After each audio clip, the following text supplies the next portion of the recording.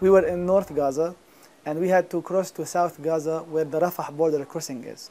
And that's where I was stopped by the Israeli army. They were uh, in the middle of the Salah ad-Din Street, which is one of the two roads that connect North and South Gaza. Um, I did not expect to be stopped by the Israeli army. There were hundreds of people walking in that line. So I was, I was called out by an Israeli soldier without, it was not my name, it was description. Um, so I was, I was surprised because the fact that our names appeared on the list means that we, are, we were cleared by Israel, by the Palestinians, and by the Egyptians. So I was surprised to be taken out of the line, to be later stripped naked of my clothes instead of three soldiers, before being blindfolded and handcuffed, before being beaten in the face and in my stomach, before being taken to Israel.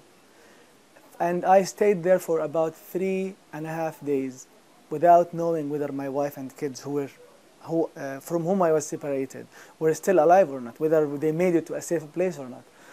And the conditions were really horrible because there is not enough food. They just give you a crumb of, of bread, uh, two or three drops of water.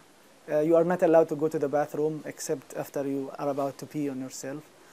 When you go to the toilet even, there is no tissue paper. There is no, there is no even water to clean after yourself. And many people, many kidnapped people were uh, died under the Israeli interrogation or because of the medical conditions they suffered from before they were taken. So the Israeli soldiers were, did not pay any attention to any people. They did not have any charges, charges or against us. They just took us whether randomly or because they had some intelligence that this person might know something that they wanted to know. So after great pressure that was put on them, they said, we are sorry about the mistake, you are going home. That was the end of it. But many remain in the custody without charge. So that just three days before I was kidnapped, I knew of another person who was kidnapped. He was released just two weeks ago. So he spent about eight months in Israeli jails in horrible conditions. And just imagine after being released, after eight months of being kidnapped, how much shocking news you will learn. A father you, he lost, a, a brother he lost, maybe a house that he lost.